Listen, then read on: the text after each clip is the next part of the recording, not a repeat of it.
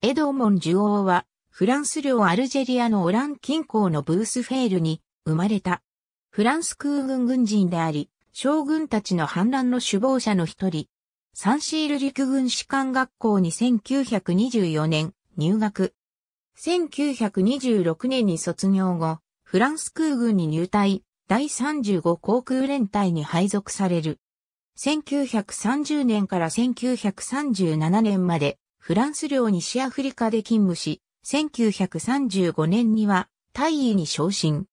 1938年に空軍大学校への入校を許され、1939年9月3日には少佐に昇進。空軍参謀部に配属され、フランス北西部の地上防空を担当。その後、航空偵察グループの指揮を取った。1942年には空軍大臣の官房付きとなった。イギリスへの脱出を試みて失敗すると、軍事抵抗組織を率いるルベール将軍の指揮のもと、ボルドー地方でレジスタンス活動に参加。1944年に軍に復帰。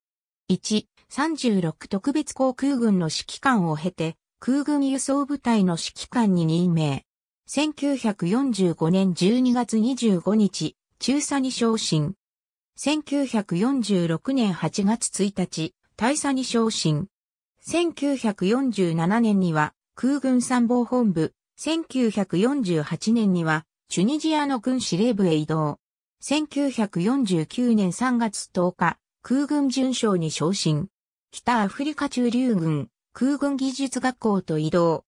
1954年、空軍少将に昇進し、極東の空軍司令官に任命された。本国帰国後、1955年2月1日には空軍参謀本部長となる。1956年に空軍中将に昇進、1957年にはアルジェリアに駐留する第5空軍管区の司令官となり、アルジェリア駐留フランス軍の最高司令官、ラウル・サラン将軍の指揮下に入った。1958年、空軍大将に昇進、空軍参謀総長、空軍査察総監などを歴任する。1960年10月15日、退役となる。1961年4月22日、モーリス・シャール、ラウル・サラン、アンドレ・ゼレールらとアルジェにて反乱を起こすも失敗、逃亡する。1962年、反乱の失敗後、OAS と合流、サランの副指揮官となる。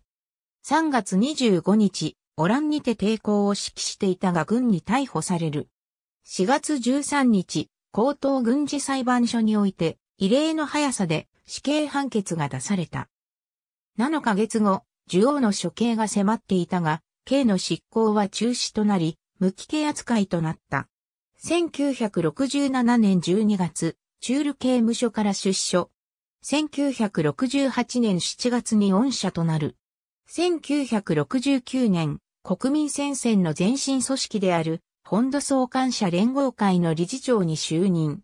1982年、名誉回復がなされる。ありがとうございます。